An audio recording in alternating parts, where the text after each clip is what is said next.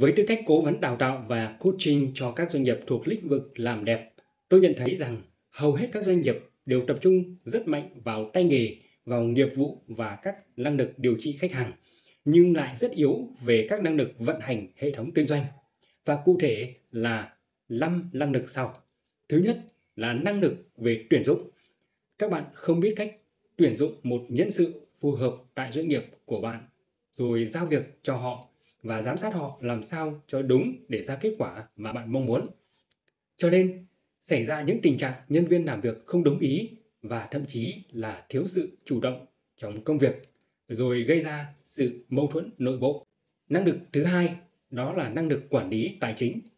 Các bạn chủ spa thường không biết cách lập kế hoạch tài chính hàng tháng, làm đến đâu hay đến đó, cuối tháng mới biết lãi hay là lỗ, doanh thu hòa vốn trong một tháng là bao nhiêu cũng không lắm rõ.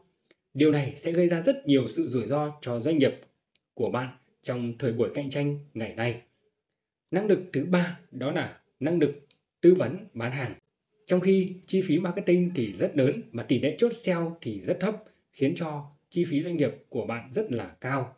Năng lực thứ tư đó là năng lực mặc và quảng cáo. Phần lớn là các bạn bị phụ thuộc vào một đơn vị ở bên ngoài mà bạn không có cơ sở để bạn kiểm soát chi phí và bạn phó mặc cho lượng khách hàng tiềm năng có chất lượng hay là không. Điều này cũng gây ra rất nhiều tổn thất về chi phí cho doanh nghiệp. Năng lực thứ năm, đó là năng lực về chăm sóc khách hàng. Các bạn không hề có một kế hoạch chăm sóc khách hàng cụ thể và cũng không xây được hành trình trải nghiệm khách hàng khiến cho việc chốt khách hàng đã khó mà tỷ lệ quay lại thì rất là kém